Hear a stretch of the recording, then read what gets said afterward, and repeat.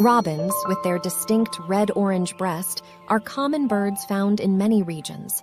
They are known for their cheerful songs and are often considered harbingers of spring.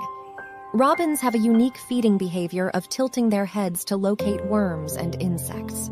They are also skilled nest builders, constructing intricate nests using mud, grass, and twigs. Don't forget to subscribe and like to know important information about animals.